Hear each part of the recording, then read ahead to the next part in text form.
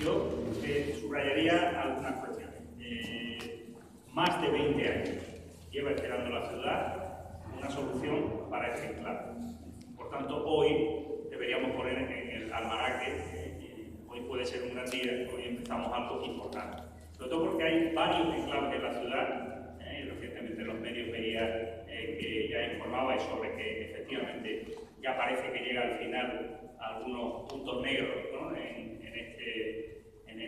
esta Sevilla nuestra de proyectos que, o bien por la crisis inmobiliaria, o bien antes, ¿eh? por situaciones de controversia en torno a la propiedad, litigios, etcétera, pues todos tenemos en la cabeza, ¿no? Marqueta, eh, Puerta Carmona, determinado tipo de sitios en donde hace muchos años que los sevillanos llevamos pasando diciendo, ¿y aquí qué van a hacer? ¿no?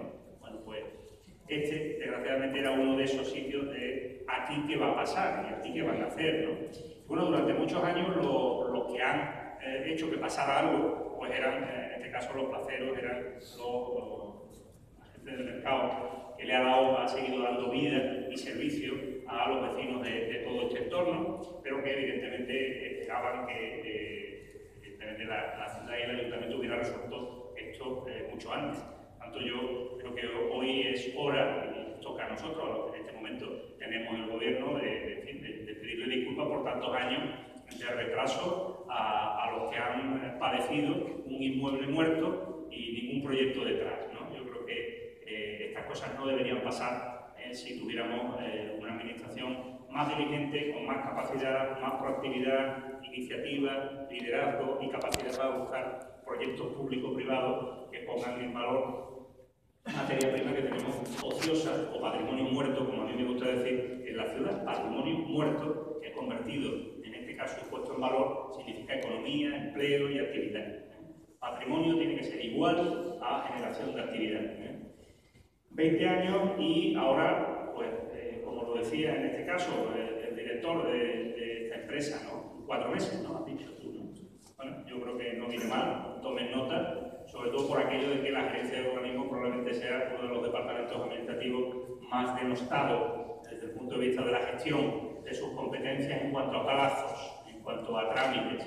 Pues, eh, le tenía que llegar también un día en donde no fuese, en este caso, su responsable político directo, sino alguien de fuera, eh, que viene a hacer una inversión, no poco, 10 millones de euros, y que efectivamente felicita al equipo caso técnico, felicitar a los funcionarios de la gerencia por una gestión diligente desde que eh, se define, en este caso, qué se quiere hacer, se ponen los medios eh, y se acreditan. Se viene, se hace una foto y se dice vamos a hacer esto, no, no. Se ponen los medios y se acreditan con solvencia y se resuelven, en este caso, las controversias técnicas con rapidez, de manera que se puedan otorgar la licencia y tengamos ya prácticamente en marcha la actividad. Yo lo quiero destacar también, lo de los 20 años y lo de la felicitación, en este caso, a la dirigencia y a la gestión en cuatro meses para desbloquear este proyecto, porque el término desbloquear, sabéis que se puso muy, muy, muy, muy famoso, el desbloquear. ¿eh? Yo creo que desbloquear también es una gran responsabilidad de los responsables nunca mejor dicho, desbloquear cosas que pueden generar efectos muy positivos. Y yo estoy satisfecho, estoy satisfecho del desbloqueo de esto, estoy satisfecho de caso a Puerta la Carne, porque en esta zona, en esta zona muy importante para la ciudad y central, se va a producir una reactivación económica y de vida enormemente grande en muy pocos metros cuadrados, lo vamos a ver. ¿eh? Son dos enclaves que van a generar sin duda un efecto enormemente positivo para todo el barrio San Bernardo, para toda la zona y eh, bueno, pues son dos motores económicos que estoy convencido en términos de empleo, no se ha dicho aquí, pero la instalación deportiva eh, puede estar en torno a 50 puestos de trabajo eh, también.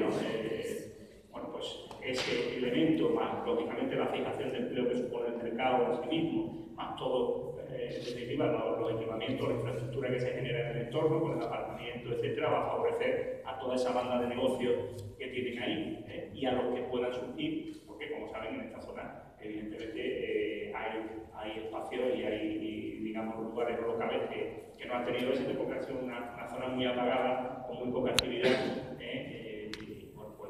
y, bueno, yo